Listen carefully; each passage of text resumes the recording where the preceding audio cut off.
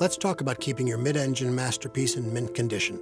If your Corvette is equipped with these available features, they will work together to help you avoid incidents and reduce crash damage while driving, backing up, and parking. Some driver assistance features alert the driver of obstacles by beeping.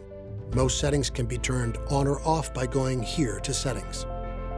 Let's go over the assistance systems for parking and braking. First, the HD rear vision camera. When you shift into reverse, your infotainment display will show the area behind your vehicle as filmed from a camera above your license plate. Rear Park Assist helps you back up at low speeds.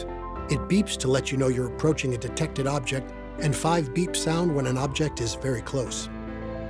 The available curb view camera is also for low speed, under 8 mile per hour maneuvering. The infotainment screen displays a view of the area in front of the vehicle, including a top-down image and left and right images.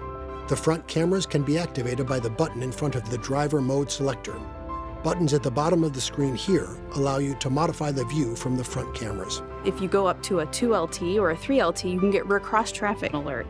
It will warn you that there is traffic coming from both the left hand and the right hand side.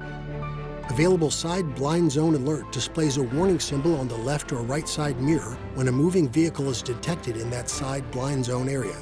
Also, the symbol flashes as an extra warning if you turn your signal on in the direction of the detected vehicle. The available rear camera mirror provides a wider, less obstructed field of view than a traditional rear view mirror to assist when driving, changing lanes, and checking traffic conditions. This can be turned on and off here, and you can also press and release this button to select the brightness, tilt, or zoom feature adjustment. Well, we are committed to making a supercar, making the best performance car we can. We also want to make sure this vehicle is really safe.